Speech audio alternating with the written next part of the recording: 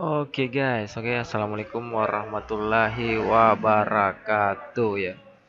Oke ketemu lagi di channel YouTube L ya di channel baru gue nih.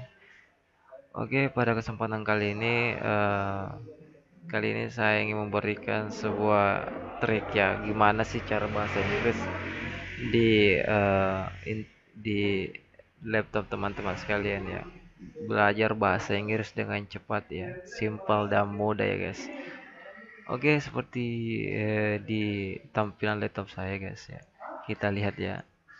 Yang di mana ada terbaca say hit to your name, Hopek, smart, more inside to. ya guys, mungkin saya kurang paham sekali ya eh, tentang bahasa Inggris ya. Tapi eh, so pada kesempatan kali ini saya akan mengajarkan teman-teman sekalian gimana sih cara mengartikannya bagaimana sih cara mengetahui arti dari eh, apa yang dikatakan dari laptop saya nih guys. Jadi uh, so bukan berarti pada video saya ini uh, mengajarkan teman-teman sekalian bagaimana cara teknik speaking bahasa Inggris. Bukan begitu ya guys. Karena saya juga uh, masih kurang tahu bahas tentang bahasa Inggris ya guys saya akan mengajarkan yang di mana teman-teman uh, sekalian. Tapi ini cara ini itu digunakan uh, hanya digunakan itu uh, melalui media sosial aja ya guys. Laptop uh, Facebook uh, dan lain-lain ya guys. Yang jelas jangan secara langsung ya. Cara ini sangat luar biasa sekali ya. Anda bisa mengobrol dengan orang barat ya kan oke okay, uh, mungkin kita langsung saja ya guys. Uh, ya. Oke okay, kita buka saja tab baru ini.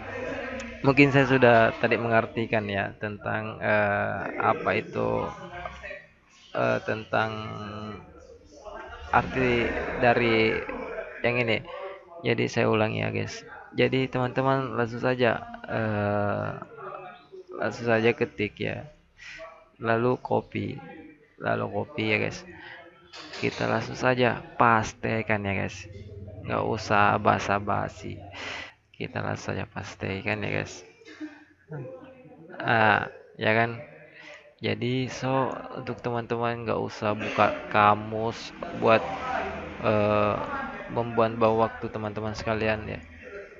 Ber anu apa? Uh, buat kursus bahasa Inggris kursus ya berbahasa Inggris memang kalau mau speaking ya haruslah kursus ya tapi kalau cuma untuk media sosial ya nggak usah lah uh, bahasa Inggris ya. Jadi uh, mungkin teman-teman sekalian sebel banget yang melihat cara saya. Mungkin uh, mungkin teman-teman sekalian pernah tidak memikirkan sama sekali tentang bagaimana cara menerjemahkan ya uh, bahasa Inggris di uh, laptop teman-teman sekalian. Mungkin so uh, mungkin ini saja ya caranya uh, bagaimana cara menerjemahkan uh, bahasa Inggris di HP atau di laptop teman-teman sekalian dengan cara simple dan mudah ya guys. Oke pada kesempatan kali ini mungkin sekian dari saya ya. Uh, mungkin sekian dari saya. Wassalamualaikum warahmatullahi wabarakatuh